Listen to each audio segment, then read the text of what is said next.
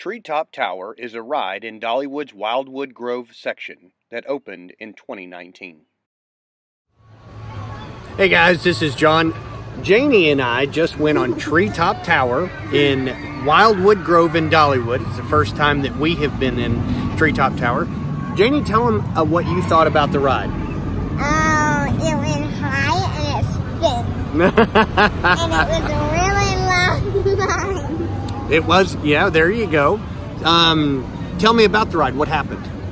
Um, we went high and we spin. Okay, but what did when you, what did you go high in?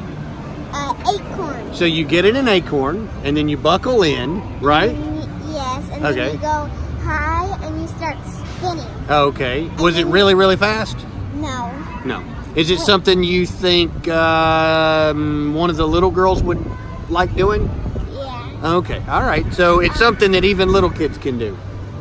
Okay. And big kids like me can do it Yes. if I can fit inside the acorn. yes. Right. Okay. Good deal. Did you have fun? Yes. Do you want to do it again? Yes. All right, good deal. There you go. Treetop Tower at Wildwood Grove in Dollywood. The riders enter an acorn shaped gondola that is large enough to fit about four medium sized adults, if they squeeze in.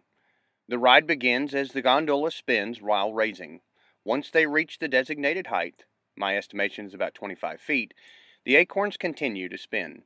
As the ride winds to a close, the acorns are lowered and stop. The gate is unlocked and the passengers exit. Yes, this ride spins.